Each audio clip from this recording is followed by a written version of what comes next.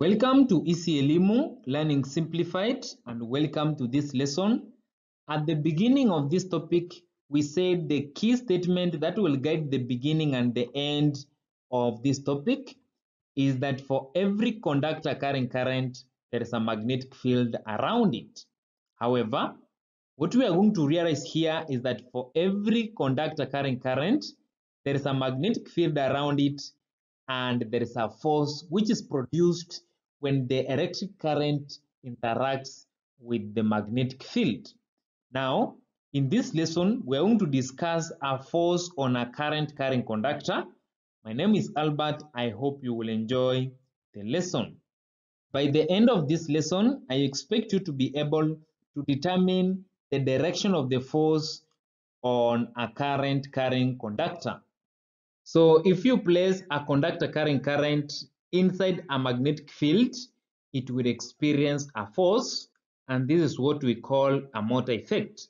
So in this case, if you have a conductor carrying current, remember, it has a magnetic field around it. Like in this case, this conductor we have here, it has current and it has a magnetic field around it.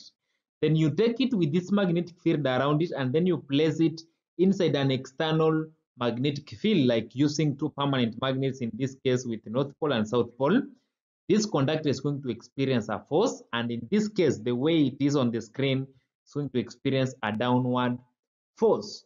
But now how does that happen? Why downwards and not upwards? The reason why the conductor experiences a force downward is because of the reinforcement of the magnetic field above the wire and the cancellation of the magnetic field below the wire. If I can redraw a cross section of the magnets that we had earlier with a conductor in between them, like this one here, this was our magnet with north pole and this was south pole. And in this case, we had a wire which was moving into the surface like that. This is a cross section part of the diagram that we had earlier. So here what you need to know is that for every conductor carrying current, this conductor has a magnetic field around it apart from the magnetic field of these magnets. So if I can draw the magnetic field due to the current flowing in this wire, I can draw it like that. Then I will use Fleming's right hand grip rule for a conductor carrying current, which is that if a conductor current carrying current is grasped such a way that the thumb points in the direction of current, then the fingers will point in the direction of the magnetic field. So if now you place your right hand, you grasp this wire, such a way that the thumb now touches the screen, then the fingers are going to move or to point to the right side on top. So on the top of this wire, the magnetic field is like that. And if you complete them to be in a complete loop, below they will be moving to the left. You can also use swim uh, the, the Fleming is uh, the ampere swimming rule. It will give you the same result. Then now that is a magnetic field due to the wire. Now, if I draw the magnetic field due to this magnet, what we are going to realize is that this magnet is also going to produce a magnetic field, which will move from the north pole to the south pole of these two permanent magnets if I can draw them here with a different ink, and then I want you to be very keen on the direction of motion of this magnetic field. So on top here, both the magnetic field of the wire or around the wire and the magnetic field due to these magnets are moving in the same direction. So if we can count the, the, the number of magnetic field lines on top, it's three from the permanent magnet and three from the conductor carrying current. So there are six magnetic fields on top of this wire. But now look at below this wire. The magnetic field below the wire is moving from north pole to south pole. And I want you to be very keen on the direction in which now this magnetic field is moving. The magnetic field below this wire from the permanent magnet is moving from north pole to south pole. That is right to the right to the left, from left to the right of the screen but the magnetic field due to the wire carrying current is in moving from right to left. So in this case here, there will be a cancellation. there will be a cancellation of this magnetic field. And when magnetic fields have been cancelled, then we can redraw this diagram like this. So each if when magnetic field are moving in opposite direction, they cancel out or they neutralize each other. And in that case, we count out if one if one neutralizes the other, then there's no magnetic field in that case. So if we can redraw, this one can be shown like this. This is a magnet with north pole. Then we have another magnet here with south pole. We had our wire moving in. Then above the wire, we have the magnetic field due to this permanent magnet. And then we have magnetic field due to this wire all moving in the same direction. So they will reinforce they will reinforce and become six. They will reinforce and become six magnetic fields flowing in the same direction. Then down here if we had remember this permanent magnet can give us up to more magnetic field lines. So if we had four magnetic field lines three of them will be cancelled by the three from the wire and therefore will only remain with only one magnetic field. So above this conductor, there is more or strong magnetic field. Down here, there will be weak magnetic field. And that's why this wire experiences a downward force. It will be pushed by this strong magnetic field towards where we have a weak, weak magnetic field.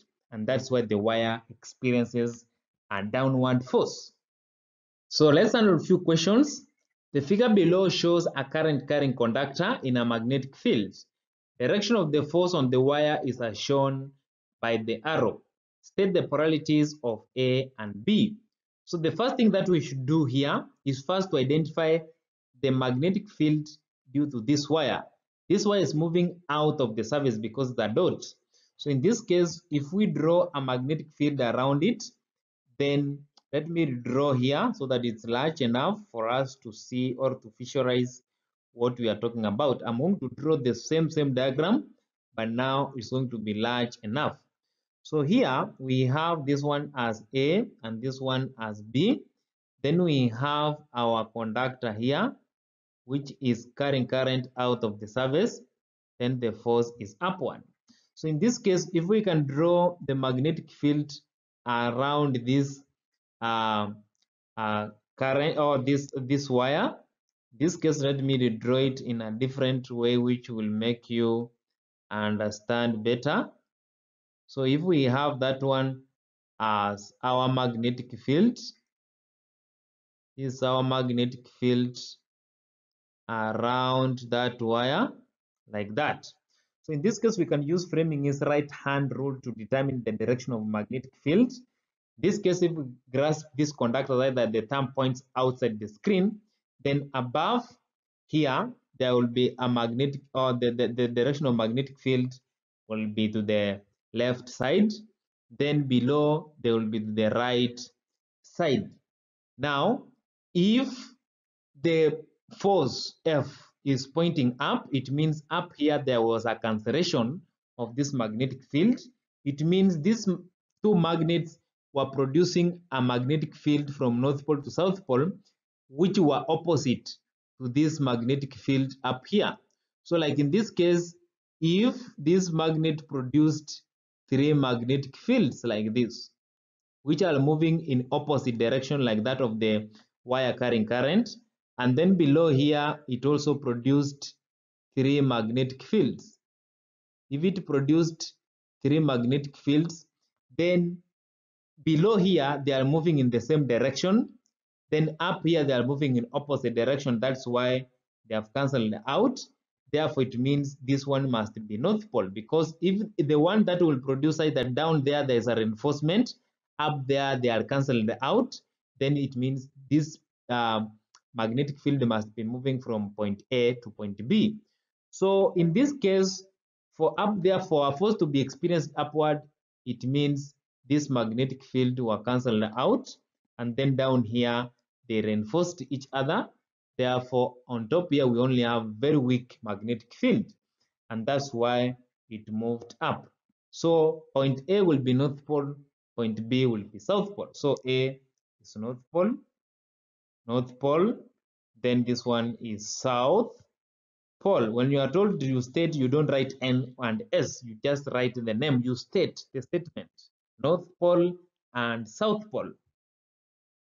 So another question, the figure below shows a conductor C in the magnetic field. The conductor carries current flowing into the paper. That's why we have a, a, a circle with an X. Sketch the resultant magnetic field between the poles on the bar magnet and then show on the diagram the direction of the force uh, acting on the conductor. So in this case, what you need to know or to do first is to determine the magnetic field around that conductor which is carrying current into the paper. And in this case, if you draw your magnetic field lines Uh, around this one like that, and you use Fleming's right hand rule side that you position your finger in a way that the thumb points into the screen, then you are going to realize that above here, the magnetic field is going to flow or to move to the right, then below it's going to move to the left. And now if you you you draw the magnetic field due to the magnet, then they are going to move from the north pole to south pole.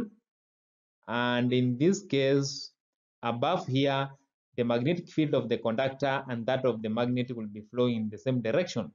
Then below here, the magnetic field of that magnet will be moving opposite the magnetic field of the conductor. Therefore, below here, there will be a cancellation. So there's a reinforcement, reinforcement above the wire, and then there is a cancellation, cancellation below. A cancellation below. Therefore, it means above there will be a strong magnetic field, below there will be a weak magnetic field. So in this case, you have uh, drawn or sketched the resultant magnetic field uh, due to the poles of this magnet.